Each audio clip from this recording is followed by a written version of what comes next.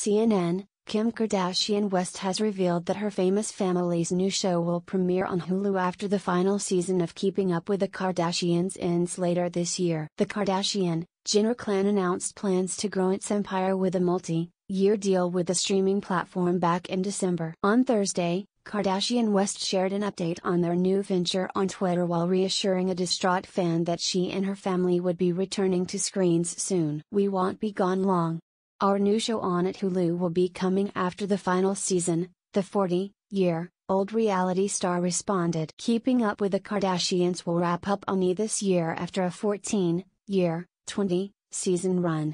The reality TV juggernaut gave viewers front row seats to the lives of the Kardashian siblings, Kourtney, Kim, Khloe, and Rob, their mother, the momager Kris Jenner, and their half sisters, Kendall and Kylie Jenner. Back in September, the first family of American reality TV announced the end of the series in a joint statement addressed to their amazing fans.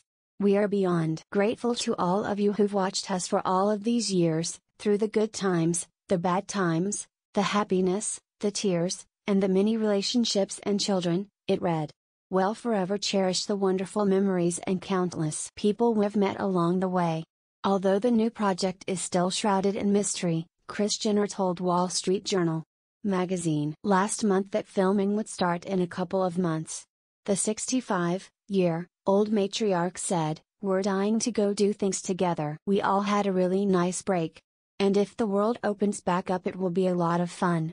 CNN's Sandra Gonzalez contributed to this report.